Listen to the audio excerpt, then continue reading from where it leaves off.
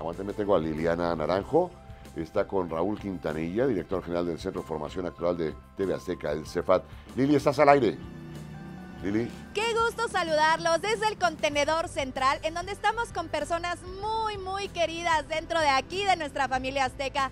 Maestro Raúl Quintanilla, director general del Centro de Actoral de TV Azteca del CEFAT. Bienvenido, muchísimas gracias por estar con nosotros aquí en Juguetón.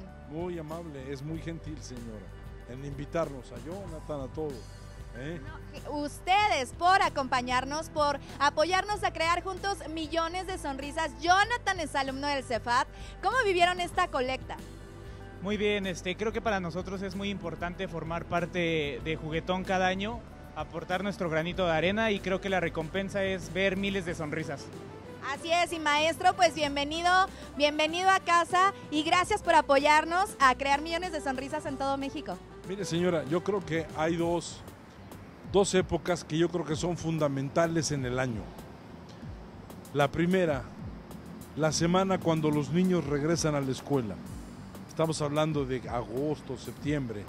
Todo el país se prepara para que los niños estén bien. Eh, los papás buscan que tengan eh, los útiles nuevos, los nervios de los niños. Todo ese mundo psicológico hace que esa semana sea trascendental para nuestro país. Hay que cuidarla mucho.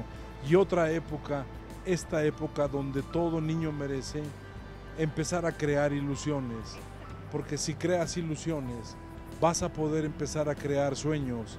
Y si creas sueños, vas a poder elaborar un rumbo. Y entonces, si podemos contribuir a que alguien a través de recibir esto lo recuerde con cariño y pueda crear un rumbo en 10, 15 años, estaremos creando algo que Garralda sabe hacer muy bien. Hay que crear destinos, rumbos, futuros para los demás.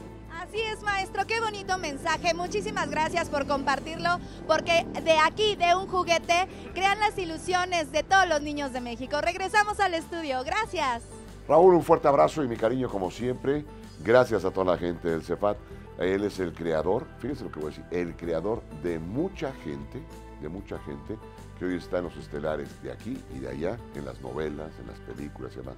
Es el creador, porque cuando llegaron con él, pues vienen como primitivos los instintos actorales. Y al llegar con él los empieza a construir, a construir, a construir, y trabaja y crea donde hay madera. Porque hay otros que, dice un dicho, ¿no? Hay maderas que nunca les agarra el barniz.